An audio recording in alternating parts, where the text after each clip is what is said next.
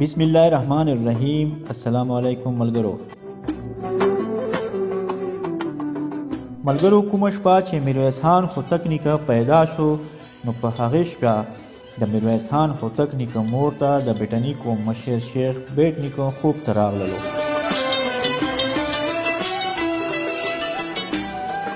شيخ بيټ نيکه يې مور ته وويل چې د دې ماشوم ښه پالنه وکړه ځکه چې کله دا ماشوم لوی شي نو د هيواد خدمت به کوي.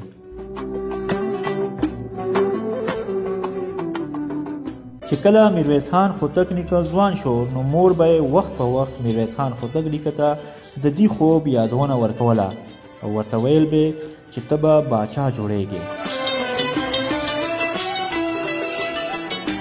داسې وخت راغی چې میرویس خان خوتک نیکه په اوولس سوه نهه صدي عیسوي کې د صفي بچات ګورنر ګورګین خان له ماته ورکړه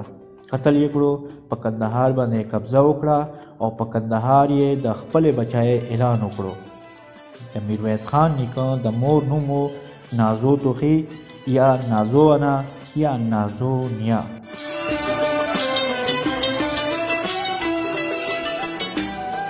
نازوانه په 1451 صدی عیسوي کې د افغانستان ولایت کندهار ولسوالۍ کې په سپوږمیز ګل کلي کې په یوې پیاوړې او شتمنه کورنۍ کې زیږېدلې وه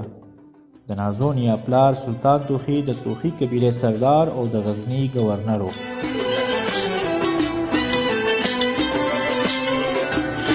د نازو انا پلار د کندهار غټ غټ علیمان د نازو انا په تعلیم باندې مقرر کړي وو د خپلې شاعرۍ او د پښتونوالۍ په توګه نازو انا ډیر زر قومي درناوی ترلاسه کړو نازو انا غوښتل چې د پښتنو قومونه په خپله کې په اتحاد شي د برنیو پارسیانو صفوي واکمنانو خلاف د اتحاد جوړولو لپاره نازو انا د غلجي قوم او څدوزي قوم ترمنځ د جګړې ختمولو لپاره هر ممکن کوشش وکړو د ایرانیانو خلاف د نازو پلار سور غره ته نږدې په یو جنګ کې ووژل شو چې دا خبر د نازو انا قبیلې له ورسېدله نو د نازو انا ورور حاجي عادل چې هغه د کلي په حفاظت باندې سلطان توخي ودرولی و د خپل پلار بدل اغستلو لپاره جګړې ته لاړو او نازو انا یې د کور او د کلې په غاړه پرېښودله نه ځو انا خپله توره راوباسله او د سړیو سره د دښمن په وړاندې د کلې دفاع وکړه د نازو انا واده د کرم خان زوی سلیم خان خوتک سره وشو د خوتک د کورنۍ مشهور واکمن محمود خوتک او حسین خوتک یې لمسیان وو محمود هوتک حکایت کوي چې نازو انا یوه ډېره پرهېزګاره ښځه وه او د خدای په عبادت کې ډېر زیات مناجات لیکلی و.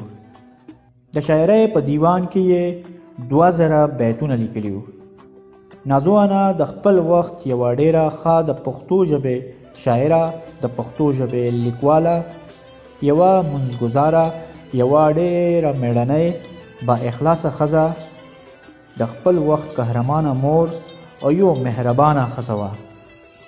خلکو به هغه د هغې د مینهناک طبیعت له امله پېژنده.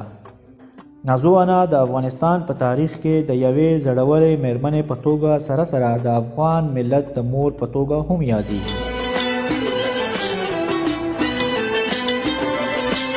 نازو انا زوی میرویس خان په کال اوولس سوه پنځلس عیسوي کې وفات شو د خپل زوی د وفات نه دوه کله ورسته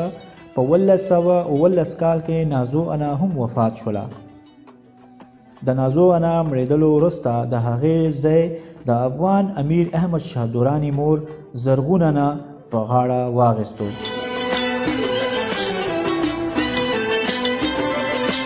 د نازو انا یو سلوریزه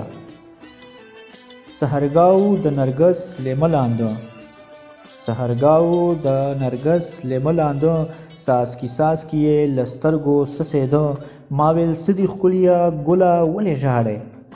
ما ویل سدي ښکلیا ګله ولې ژاړې د ویل ژوند مې دی